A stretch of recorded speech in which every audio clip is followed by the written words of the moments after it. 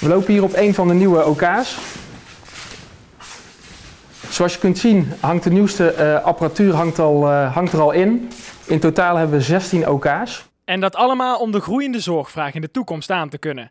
De afgelopen jaren is hier een enorm gebouw uit de grond gestampt. Een ingewikkelde operatie. Uh, aan de ene kant ben je aan het, aan het bouwen, de organisatie aan het voorbereiden om over anderhalf jaar ja, te gaan verhuizen. en, ja, en in de tussentijd moet het ziekenhuis gewoon doordraaien. En de moderne patiënt wil privacy.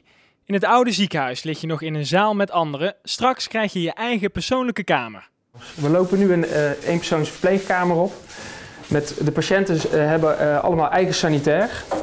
Hier zie je een, badka een badkamer met een toilet, eigen wastafel. Het vergt misschien nog wat fantasie, maar straks zien de kamers er zo uit. En dit wordt het restaurant.